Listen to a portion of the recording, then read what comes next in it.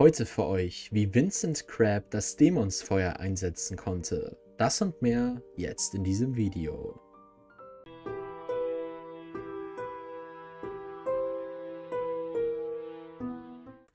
Im heutigen Video widmen wir uns einem von Draco Malfoys Gefolgsmännern, Vincent Crab aus dem Duo Crab und Goyle. Genauer gesagt werden wir über Crab im Zusammenhang mit einer mächtigen Form der dunklen Magie sprechen, dem Zauberspruch Dämonsfeuer.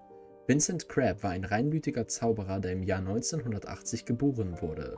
Er entstammte einer langen Linie dunkler Zauberer und Todesser, wobei sein Vater, Crabbe Senior, in der Saga erwähnt wird.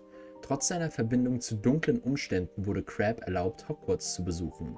Es ist wenig überraschend, dass er in das Haus Slytherin eingeteilt wurde, als er die Schule betrat. Er entwickelte eine besonders enge Beziehung zu seinen Slytherin-Kameraden Gregory Goyle und ihrem Anführer Draco Malfoy.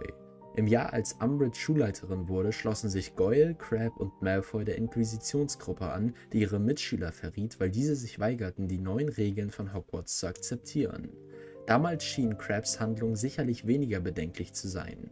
Mit zunehmendem Alter und seiner Entwicklung zum jungen Erwachsenen stand die Zaubererwelt vor einer düsteren Zukunft, da die dunklen Künste an Einfluss gewannen. Viele Schüler wurden gezwungen, sich auf eine Seite zu stellen. Crabbe wählte den Pfad des Bösen und schloss sich Lord Voldemort an. Diese Entscheidung verwandelte ihn von einem unbeschwerten Kind in einen zutiefst verdorbenen und verdrehten jungen Mann. Als die Carrows in Hogwarts unterrichteten, wurde deutlich, wie sehr er sich verändert hatte. Amykos Carrow unterrichtete das, was früher als Verteidigung gegen die dunklen Künste bekannt war, aber zu der Zeit ging es nur noch um die dunklen Künste. Wir wurden angewiesen, den Cruciatusfluch an Schülern zu praktizieren, die sich Nachsitzen verdient haben. Was? Halte die vereinte Stimme von Harry, Ron und Hermine den Gang auf und ab?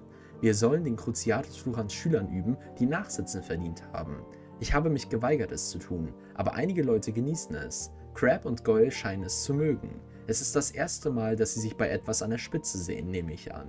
Die Tragödie bei Crab besteht darin, dass er nie wirklich eine Chance hatte. Er entstammte einer Familie von Todessern und von Anfang an wurde er Teil einer Freundesgruppe, die immer die falschen Entscheidungen traf. Um Dumbledore zu zitieren, es sind unsere Entscheidungen, Harry, die zeigen, wer wir wirklich sind, weit mehr als unsere Fähigkeiten. Und Crab traf eine Vielzahl falscher Entscheidungen. Als Krabs letztes Jahr in Hogwarts anbrach, war er bereits ein ausgewachsener dunkler Zauberer, nicht nur der Sohn eines solchen. Dies führte schließlich dazu, dass er sich gegen das Trio wandte und sich gegen viele Schüler stellte, mit denen er aufgewachsen war. Am 2. Mai 1998 setzte Krabs schließlich im Raum der Wünsche einen der mächtigsten dunklen Flüche in der Zaubererwelt ein, das Dämonsfeuer. Es war kein gewöhnliches Feuer. Crab hatte einen Fluch verwendet, von dem Harry nichts wusste. Als sie um die Ecke bogen, verfolgten die Flammen sie, als ob sie lebendig wären, fühlend und mit der Absicht, sie zu töten. Das Feuer mutierte nun und bildete ein riesiges Rudel feuerspeiender Kreaturen. Flammende Schlangen, Chimären und Drachen stiegen empor, fielen wieder ab und stiegen erneut auf. Das ganze Zeug aus dem Raum der Wünsche, welches sich über die Jahrhunderte gesammelt hatte, wurde in die Luft geschleudert, bevor sie vom Inferno verschlungen wurden. Dämonsfeuer ist ein äußerst fortgeschrittener dunkler Zauber, der mächtige magische Flammen erzeugt, die im Grunde genommen alles zerstörten, was sich ihnen in den Weg stellt, oft in Form von gewaltigen feuerspeienden Kreaturen. Die Frage ist dann nur, wie konnte Crab diesen Zauber beherrschen? Dämonsfeuer scheint die Art von Zauberspruch zu sein, die normalerweise nur extrem mächtigen, dunklen Zauberern wie Voldemort und Grindelwald vorbehalten ist. Ich persönlich war ziemlich stark überrascht, dass dieser Zauber von jemandem angewandt wurde, der oft als ziemlich inkompetent dargestellt wurde. Bis zu diesem Zeitpunkt ist dies wahrscheinlich der mächtigste Zauber, der von irgendjemandem ausgeführt wurde. Also wie hat er und vor allem er das geschafft? Ist Crab nicht einfach nur ein Diener von Malfoy gewesen? Die Wahrheit ist, Crab war von den beiden, Crab und Goyle, sicherlich talentierter. Interessanterweise vermitteln uns die Filme jedoch oft den gegenteiligen Eindruck. Crab war mehr, als es auf den ersten Blick schien, und es stellte sich heraus, dass er kein völliger Dummkopf war. Tatsächlich entwickelte er mit zunehmendem Alter betrachtliches Geschick in der Anwendung dunkler Magie. Wir können ihn sogar dabei beobachten, wie er erfolgreich einen Avada Kedavra Zauber auf Ron anwendet. Ein Zauber, der ein hohes Maß an Konzentration und Geschicklichkeit erfordert. Crab drehte sich um und rief erneut Avada Kedavra. Ron sprang, um dem Grünlichtstrahl zu entkommen. Der zauberstablose Malfoy hockte hinter einem wackeligen Kleiderschrank, während Hermine auf sie zustürmte und Goyle mit einem Betäubungszauber traf. Angesichts seiner Herkunft als Kind eines Todessers denke ich, dass Crab zu Hause sicherlich eine beträchtliche Menge dunkler Magie gelehrt bekommen hat. Crab hat nicht nur dunkle Magie beigebracht bekommen, sondern auch zusätzliche Zauberpraktiken außerhalb des Lehrplans in Hogwarts erlernt.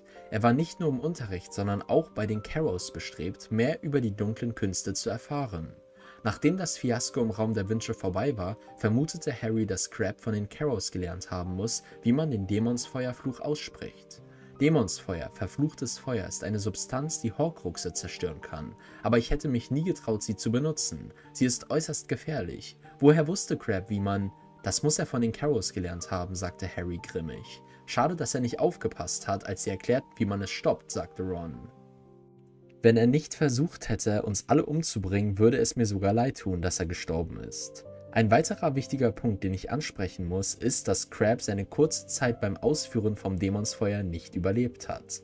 Crab wurde nämlich ziemlich rasch in die dunkle Magie eingeführt und obwohl er in der Lage war, das Dämonsfeuer zu benutzen, was an sich schon beeindruckend ist, bedeutete das nicht zwangsläufig, dass er es auch unter Kontrolle hatte.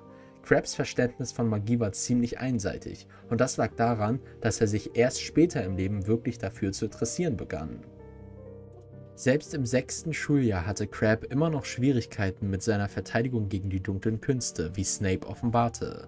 Wenn eure Freunde Crab und Goyle die Absicht haben, ihre ZAG in Verteidigung gegen die dunklen Künste bestehen zu wollen, müssen sie sich ein bisschen mehr anstrengen, als sie es bisher getan haben.